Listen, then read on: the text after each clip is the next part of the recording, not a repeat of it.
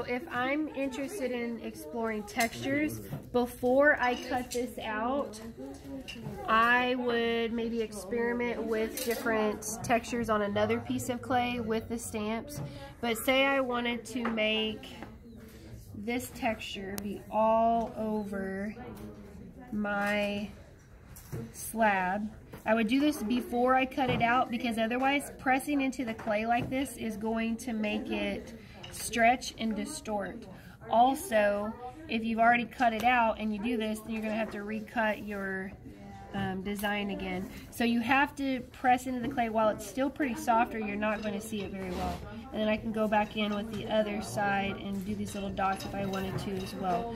Textures should relate in some way to your design idea. Then I can take my form and put it over it and because this is dried out just enough where it's not going to stretch too much, I can start cutting it out.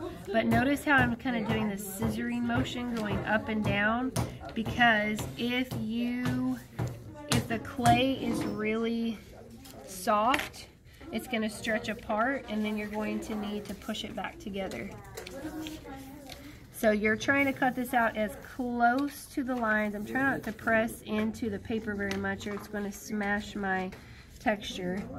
But hold the form down, the paper template, to make sure that you're keeping this accurate. Because if you get some of your accuracy off, some of your design, then your paper pieces are not going to fit together. The clay pieces won't fit together. So here's one of my slab walls, then I could do that to the rest of them before I build them up together. So I would keep this to the side. I have another slab that I would work on, and then we'll talk about beveling later. I left something in the bathroom mm, on accident. I didn't mean to. I just okay. realized. Are you still recording while she's saying all that? Yes. Why would you do that? okay, let's cut it off. Okay. okay.